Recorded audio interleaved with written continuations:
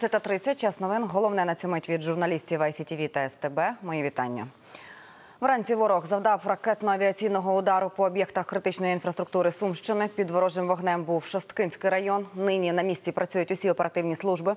Рятувальники повідомляють, що уже ліквідували п'ять пожеж, що виникли через ворожі обстріли. Горіло як у житло- житловому секторі, так і на об'єктах інфраструктури. Зокрема, у Сумському районі зайнялося у селі в оселі мирних жителів у момент, коли ДСНСники локалізували вогонь, відвернувши небезпеку від сусіднього будинку, почався повторний обстріл. Та встигли сховатися і після завершення небезпеки таки ліквідували займання. А вночі Сумська область серед інших 10 областей була під атакою дронів. Ворог із трьох напрямків запустив по території України 39 ударних БПЛА.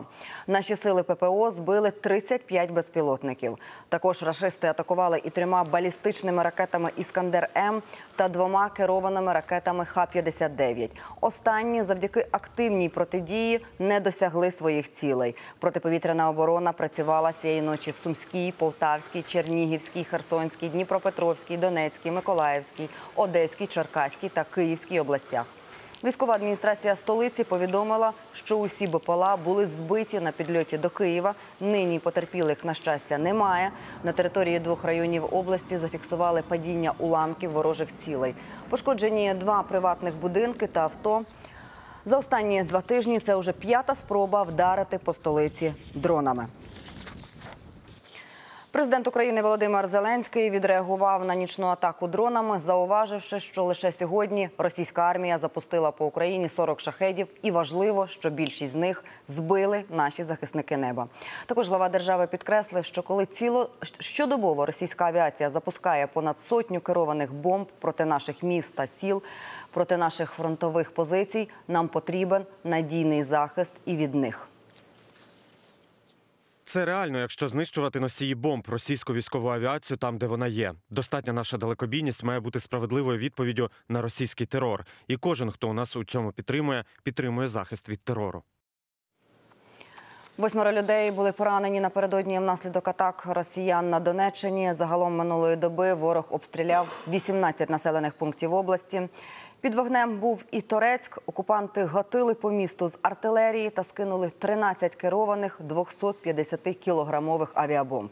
Двоє людей травмовані, пошкоджено три багатоквартирних і ще шість приватних будинків. По Покровську та селищу 1 травня російська армія випустила 11 ракет із зенітно-ракетного комплексу С-300. Є руйнування в житловому секторі. Також під ворожим вогнем був Лиман, Селидове, Ямпіль, Сіверськ та Часів Яр.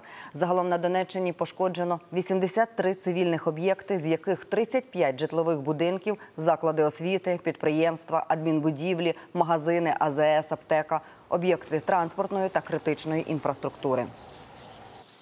І попри вкрай складну ситуацію, 500 людей і досі перебувають у місті Часів Яр, повідомив Сергій Чаус, керівник місцевої військової адміністрації. Через постійні атаки у місті фактично зруйнована вся цивільна інфраструктура. Немає електрики, водопостачання, зв'язку. Довозити їжу та воду туди складно. Дорогу у Часів Яр постійно обстрілюють вороги. Щодо продуктів харчування, скажу відверто, останні роки, в принципі, весь час е, повномасштабного вторгнення ми забезпечували громаду. І мешканців громаду в необхідній кількості гуманітарною допомогою. Плюс е, до весни у нас були безкоштовні обіди, дякуючи е, World of Kitchen. Е, Тому люди мали можливість економити ці продуктові набори, і в кожній родині складено такий гарненький, я б сказав, запас е, цієї допомоги. Але не дивлячись на це, ми навіть і зараз намагаємось завозити. Є певні шляхи. Вибачте, не буду розповідати, як саме це робиться, але е, по кожній крапочці ми намагаємось допомагати людям і завозити гуманітарну допомогу навіть зараз. Зранку російські окупанти скинули вибухівку з дрона на двох цивільних Кізомисі на Херсонщині. Два чоловіки дістали вибухові травми, а також уламкові поранення грудної клітини, спини та ніг. Постраждалих доставили до лікарні, а ще одного чоловіка ошпиталили у важкому стані з Новоберславу. Російські армійці зранку атакували населений пункт дроном камікадзе. За минулу добу обласна військова адміністрація повідомила про чотирьох поранених в області. Окупанти обстріляли 18 населених пунктів Херсонщини. Влучили по приміщенню гуманітарного штабу у житлові квартали. Зокрема, понівечені майже два десятки приватних будинків. Пошкоджена лінія електропередач, складська будівля та господарські споруди. А сам Миколаїв оговтується від ракетного обстрілу 19 липня. Росіяни вдарили посеред містю ракетою Х-59. Загинуло троє людей, серед яких 13-річна дитина. Ще один чоловік помер у лікарні. Восьмеро людей ще досі залишаються в медзакладах. Загалом від ворожого удару постраждала дитяча поліклініка, садочок та 19 житлових будинків. Комунальні служби і досі ліквідовують наслідки атаки. Більше розкаже Олександра Ченкова. Пані Раїса прибирає те, що лишилося від її оселі. В момент ракетного удару вона із чоловіком, на щастя, не були вдома. Все повилітало, холодильник вирвало, все, бойлер, це саме бойлер вирватий, шкафи, ну, нема нічого цілого. Саме головне, що, що ми живі, саме головне, що не казалось. Кажу, ну це, це, звісно, що діти пострадали, це, це страх і ужас. Епіцентром вибуху став дитячий садочок. Тут вибуло вікна, двері, частково обвалилася стеля. Ось це було епіцентром удару. Е, із сотрудників е, дитячому садочку був завхоз, завідувача, е, робітник. Слава Богу, дітей не було. Співробітники розповідають, заклад не працює через відсутність укриття. Однак на майданчику доволі часто граються місцеві діти. Росіяни вдарили ракетою по звичайному житловому кварталу, а саме по цьому дитячому майданчику. Попередньо це була Х-59. На місці загинув 13-річний хлопчик та дві жінки. Ще один чоловік від отриманих поранень помер у лікарні. Загалом ушпиталили 15 людей, серед яких четверо дітей. Ще дев'ятьом надали медичну допомогу без госпіталізації. було дуже багато постраждалих з порізами від уламків, від скла. Е, І була надана допомога більше ніж 25 постраждалим. Дуже багато серед них було літніх людей, дуже багато та дітей. Окрім садочка, неабияк постраждала і дитяча поліклініка. На щастя, маленьких пацієнтів у цей час там не було. Також пошкоджено 19 житлових будинків. Наслідки ракетного обстрілу росіян тут ліквідовують і досі. Людям надали будматеріали, аби вони могли законсервувати свої оселі.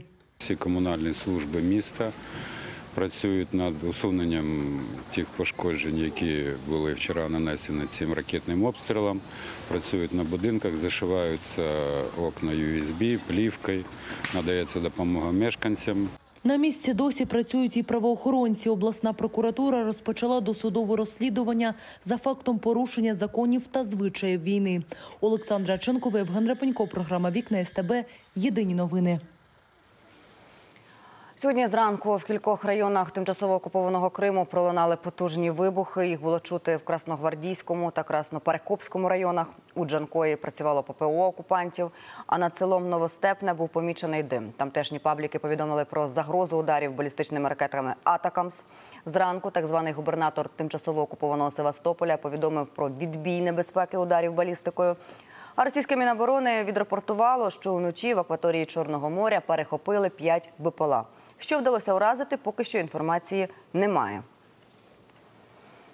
На сіверському напрямку прикордонники ліквідували щонайменше сім окупантів та поранили ще двох. Відповідне відео оприлюднила бригада Помста.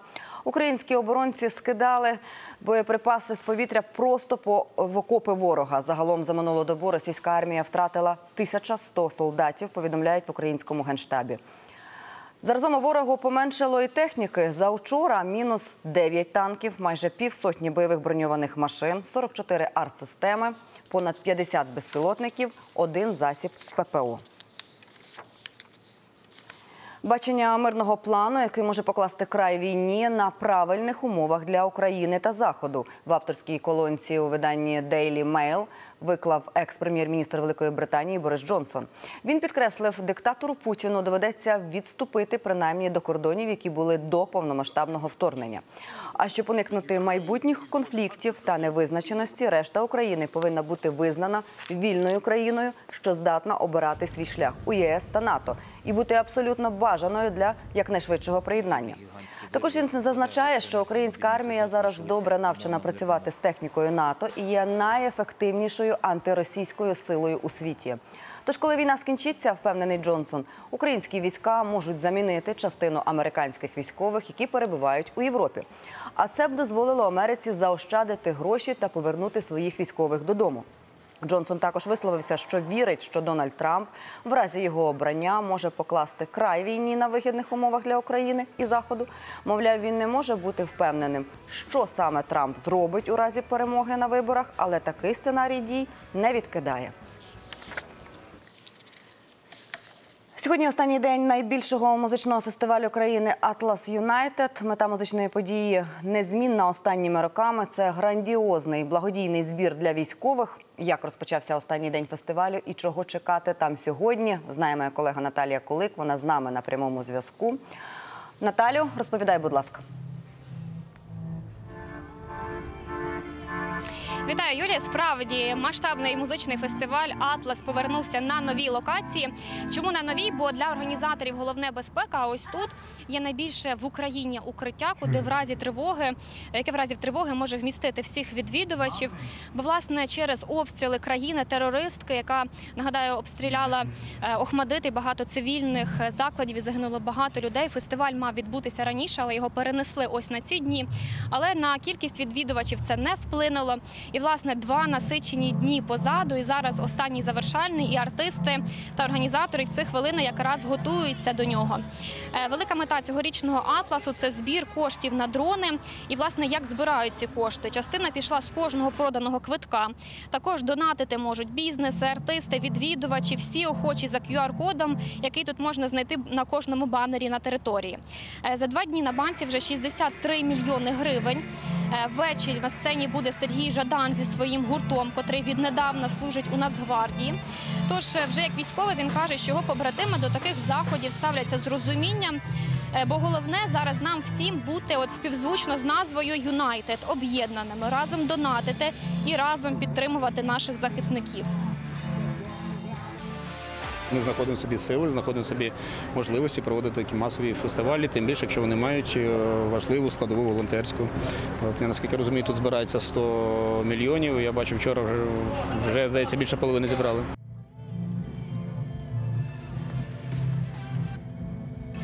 Тож, власне, два насичені дні позаду. Організатори ще рахують, скільки відвідувачів було за ці дні.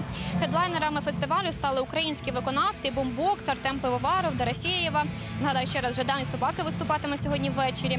Загалом понад 70 артистів. Організаторам також вдалося запросити декілька іноземних. І от як відвідувачі чекали повернення Атласу, прошу послухати. Ми дуже раді брати участь у цій е, наймасштабнішій крутій події цього літа і взагалі е, події з початку повномасштабного вторгнення. Дуже раді, що е, мета цього фестивалю зібрати е, 100 мільйонів на дрони. Я супер наголошую на те, що можна донатити.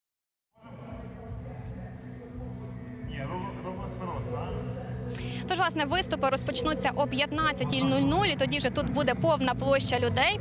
Е, Відвідувачі, організатори закликають донатити, ще раз донатити, також приєднуватися всіх охочих в соцмережах, шукати QR-код. Бо велика мета дуже благородна. Це 100 мільйонів гривень. Нагадаю, для е, військо для дрони для військових, які і дають нам можливість ось зараз бути на таких музичних фестивалях. Юлія. Дякую, Наталю. Це була Наталя Кулик з найбільшого музичного фестивалю країни Атлас Юнайтед, де триває грандіозний збір на потреби військових. Сьогодні частково скасували графіки відключень. Обмеження в споживанні електроенергії не будуть застосовувати з 12 до 15 години, повідомили у ДТЕК.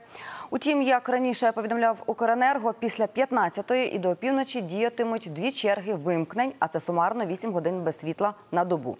Для вирішення проблем пов'язаних з е, енергетичною галузю в Україні запрацювала гаряча лінія з питань енергетики під назвою Струм. Зателефонувавши туди, можна отримати інформацію, зокрема про встановлення альтернативних джерел енергії вдома чи на підприємстві, або ж про державні фінансові програми підтримки для встановлення додаткових потужностей генерації електроенергії. Допомогу можна отримати цілодобово та безкоштовно за номером телефону 1549. Підписуйтесь на наш канал, ставте лайки та залишайте коментарі, щоб допомогти нам донести важливу інформацію до більшої кількості глядачів.